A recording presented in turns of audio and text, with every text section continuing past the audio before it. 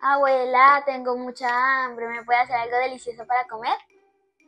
Quiero sorprender a Tiago con algo delicioso. Hola gente linda de recetas fáciles, tengan ustedes un bendecido día.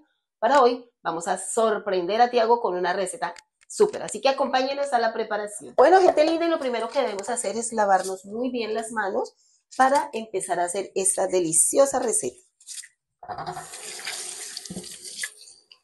Bueno, para esta deliciosa receta vamos a utilizar pechuga, panceta de cerdo, le dicen aquí en España. En Colombia le decimos tocino y carne así en trocitos.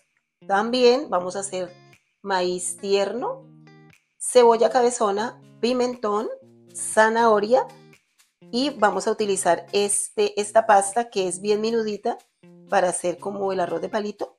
Los condimentos que vamos a utilizar es este ajo perejil, color, ajo y salsa negra.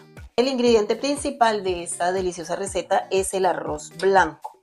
Como ya lo tenemos listo y preparado, entonces vamos a la preparación de los otros ingredientes. Vamos a coger la pechuga y la vamos a abrir y vamos a sacar tiritas delgadas, bien delgadas. Bueno, estas las encontramos así en el supermercado, pero como vienen grandecitas, ustedes las pueden porcionar un poco más pequeñas. Y tenemos la panceta y también la vamos a cortar en trocitos bien pequeños. Bueno, lo primero que vamos a hacer es a colocar a freír la panceta. La vamos a dejar que se sofría hasta que esté en su punto.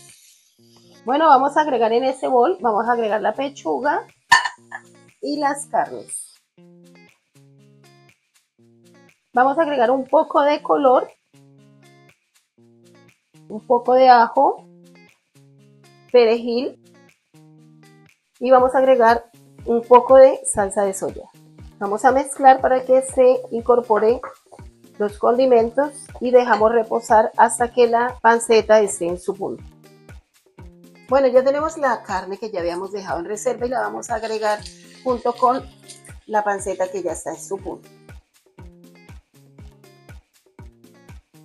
Voy a agregar un poco de sal porque recuerden que no le agregué sal cuando lo estaba preparando. Y voy a agregar otro poco de salsa de soya.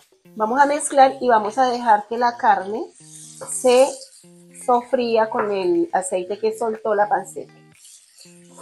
Bueno, el siguiente paso mientras se está cocinando la carne, vamos a hacer, eh, aquí las zanahorias son larguitas, entonces vamos a hacer tiras de la zanahoria, unas tiritas delgadas de esa manera. Bueno, tenemos una cebolla cabezona, de igual manera lo vamos a dejar bien picadita en julianas, bien delgaditas. Así que empezamos el proceso con la cebolla y a llorar El pimentón de igual manera lo vamos a sajar en tiritas, por favor. Bueno, mi gente linda, como ustedes pueden ver, la carne ya está en su punto y vamos a agregar los demás ingredientes. Vamos a agregar zanahoria, Vamos a mezclar. Dejamos que la zanahoria se coja el sabor. Vamos a agregar el maíz. Si usted le quiere agregar más, más maíz, usted lo puede hacer. Vamos a agregar el pimentón y vamos a agregar cebolla. Vamos a mezclar. Bueno, en este caso me quedó pequeña la paila, pero usted puede conseguirse un bol o una paila mucho más grande y va a mezclar. Aquí voy a mezclar suave. Voy a dejar que se integren los ingredientes y de una apagamos para poder ingresar esto con el arroz. Aquí ya tenemos listo, esto ya está listo para mezclar con el arroz, pero como nos falta poner a sofreír eh, la pasta, lo vamos a hacer. Y listo, terminamos.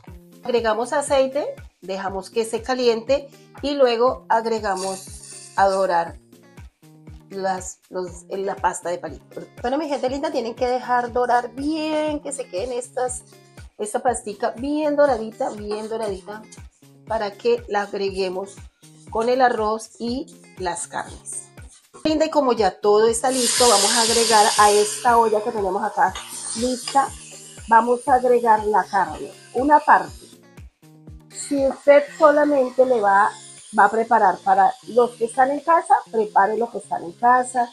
Vamos a agregar la pasta y vamos a agregar el arroz. Entonces agregamos el arroz y mientras vamos agregando el arroz y vamos mezclando. Los invitamos a que nos sigan en nuestras redes sociales. No se les olvide, si no están suscritos, por favor, suscríbanse a nuestro canal. Dale like a la campanita para que cada vez que preparemos una deliciosa receta, ustedes sean los primeros en ser notificados. También tenemos un cordial saludo a todos nuestros seguidores. Bueno amigos, así ha quedado nuestra deliciosa receta. Así que vamos a servirle a Tiago. A ver, ¿qué nos dice? Está delicioso.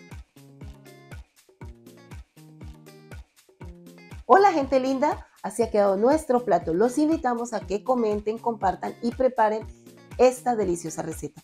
También les agradecemos por estar con nosotros y los invitamos que si no te has suscrito a nuestro canal, te suscribas, le des a la campanita y además nos regale un me gusta. Bendiciones, éxitos y nos vemos en la próxima receta.